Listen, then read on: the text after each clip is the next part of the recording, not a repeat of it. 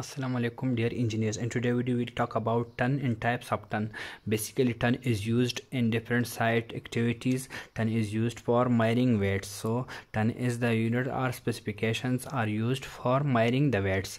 So there are three types of tons number first one which we use is long ton long ton in other names is also called british ton you can also call long ton is british ton its value in pounds is 2240 pounds and if we convert it into kgs so it comes out to be 1016 kgs. So this is long ton value in pounds and this is long ton value in kgs.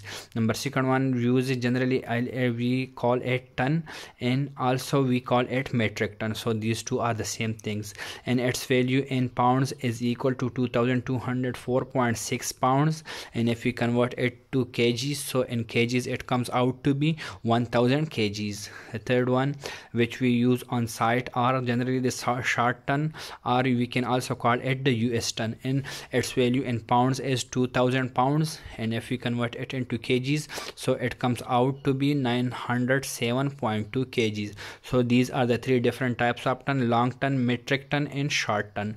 You can also call it british ton. Ton generally name is ton and it is called us ton. Thank you